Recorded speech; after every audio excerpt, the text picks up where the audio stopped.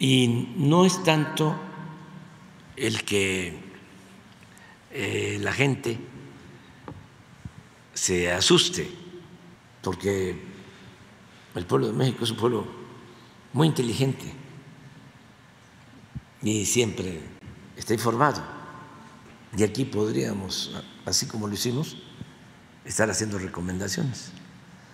Pero hay una cuestión especial, bueno, ni tan especial, también se da en otras partes del mundo.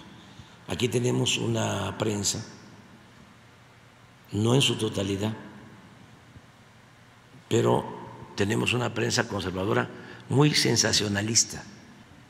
Entonces, exageran todo y le echan la culpa de todo al gobierno. Entonces, informar en las tardes sobre esto ayuda para que no confundan. Estaba yo viendo ahora con las colas en el aeropuerto y los medios insinuando de que es el gobierno. No se atreven a decir la verdad. ¿Cuál es la verdad? Pues que se enfermaron pilotos, sobrecargos. Y en el caso de Aeroméxico hay algo especial.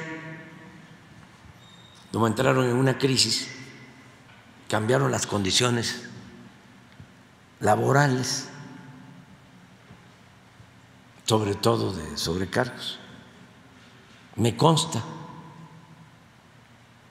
porque recibo quejas, por eso estoy hablando constantemente con trabajadores y con el pueblo